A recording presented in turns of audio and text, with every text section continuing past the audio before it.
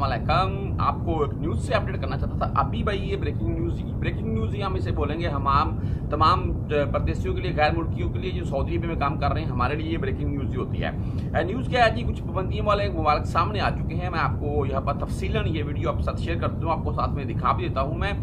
मैं अभी ये अभी अभी आई है न्यूज़ चंद मिनट पहले की बात है जी।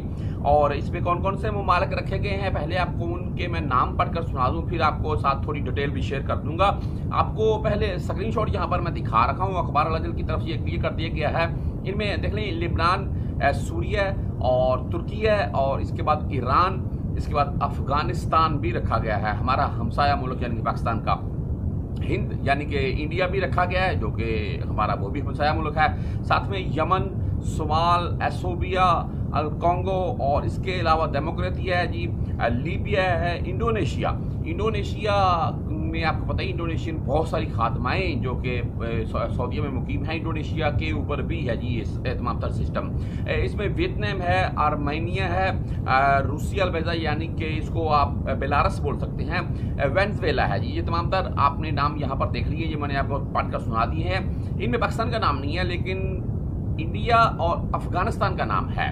अभी ये है जी, वो तमाम तर ममालक जिनके ऊपर जवाजात की तरफ़ से कहा गया है कि तमाम सऊदी हजरात, सऊदी फैमिलीज़, चाहे बहुत सऊदी अफराद ऐसे भी हैं जिन्होंने इंडोनेशियन लड़कियों वगैरह से शादी की हुई है, उनकी फैमिलीज़ अगर वहाँ पर हैं या इंडिया में हैं या अफ़गानिस्तान में कहीं भी हैं जी तो आपकी अगर फैमिलीज़ हैं, वहाँ पर मौजूद हैं या यहाँ पर हैं, या आप उनके साथ जाना चाहते हैं तो तमाम आपके ऊपर पाबंदी आयद होंगी इन कंट्रीज़ के मुतल यानी कि आपकी फैमिलीज़ वहाँ बैठी हुई हैं, आप उनको भी मिलने नहीं जा सकते हैं।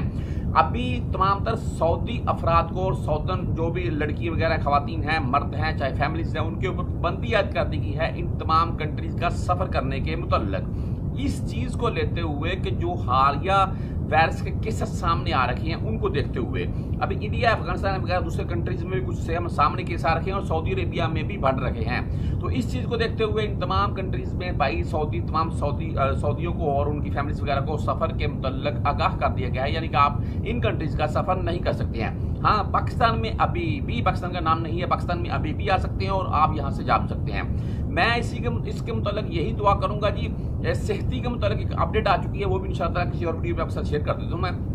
मैं इसके मुतलक यही दुआ करूँगा जी, अल्लाह ताला की ज़ात रहम करे और पहले जैसे हालात ना हो जो कि फ्लैट्स के मुतलक पहले हालात चलते थे।